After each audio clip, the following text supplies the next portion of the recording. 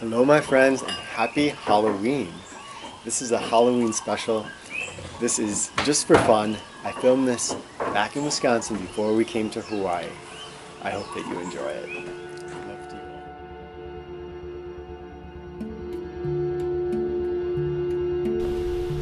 Deep in the forests of Wisconsin, there is a place called Blackpool. And not far from Blackpool is the werewolf cage. Hello, my friends. Sometimes we can imagine that the whole world has been explored. We can go on Google Map and we can look over any terrain with that satellite imagery that can get us quite close. That is one of the big illusions of our world. That all the adventure is stripped away. That there's no wonder or mystery left. But the truth is, of course, if you wander off the path a little ways, there's all kinds of mysteries just waiting to be seen and explored. Now, this particular mystery is not just close off the path. This is way out in the woods of northern Wisconsin. During my time here, with this forest as the backyard essentially of the Rewild University campus, I've found many mysteries in these woods. But this is one of particular interest to me, and I thought you might have something to say about it. I will share the legend and then I will show it to you. So the legend is that there was a man who was inflicted with lycanthropy. And the way we've seen it in movies is that people turn into kind of a half half wolf, half man type creature. But in this case, it was more, it was closer to the original ideas of lycanthropy that this uh, man would turn into a wolf at night.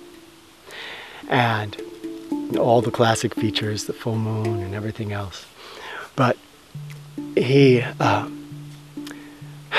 could not control himself in his wolf form and he hurt some people. So he went out into the woods and he lived very simply, like, like our bushcrafters today would live, living with the land. But he had to build himself a special cage that would contain him in his wolf form so that he wouldn't hurt anybody. And I'm at the site of the cage that he built. I it was actually kind of tough to find it because I used to come here by certain paths, but I haven't been here for about a year. And trees have fallen, it's become overgrown. It was a lot more difficult to find.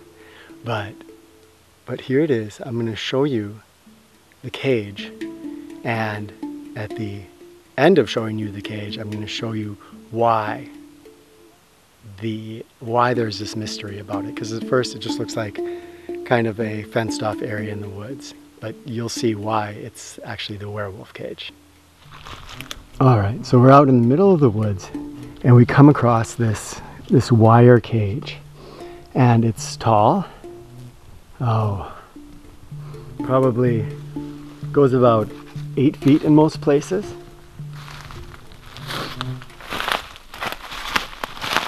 And it was built down into the ground. So the wire goes down into the ground. This is just duff layer, but if you dig down further, it was trenched in. It was built in its time with sturdy, sturdy logs right off the land here. So these aren't milled, obviously. These were just cut down off of the land. There's that cross beam. There's the wire going up. Over the years, things have fallen. It's become crushed. But it goes I would say this is a a hmm, 30 by 30 foot enclosed area. And the same all the way around these sturdy sturdy poles and nice and high and dug into the ground. Now there's lots of explanations for this thus far. Could have been well sometimes enclosures are built to keep out the deer so that people could grow things in the middle and and that makes perfect sense. This would have been a deer enclosure cage. There's tons of deer here in Wisconsin. It's managed for hunting rather than the ecosystem. So native plants and other things are just eaten to the ground. It's hard to grow a lot of trees. So possibly this was built to uh, keep native plants or other trees growing, or there could have been gardens inside. Although if there are gardens, you guys probably know about tree tracks from my other videos. And you can see, wait a second, this wasn't, I mean, for, for over a hundred, well, okay, so where's that tree? It's gone. So for over two, three hundred years, this land was never um, flattened out. And usually we do that to make a garden. It's not impossible to garden on, on terrain, but usually we humans, especially up here during that time, you know, what, 40, 50, 60 years ago, would flatten the ground out. And this land definitely has not been flattened. But that is not why it's the werewolf cage. This is why it's the werewolf cage. And it might sink in before I tell you, but let's take a look. So there's a very small door. You can see my hand. And there's a small little door to get in and out. And that's unusual on its own.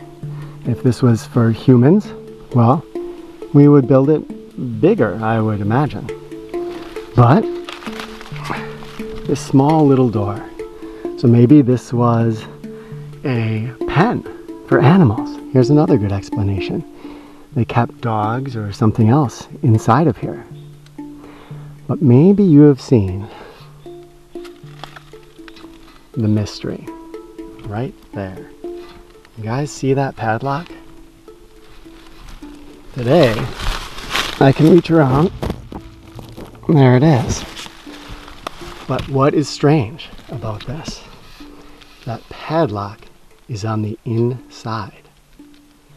So, what kind of a situation would it be where somebody would lock it on the inside rather than the outside?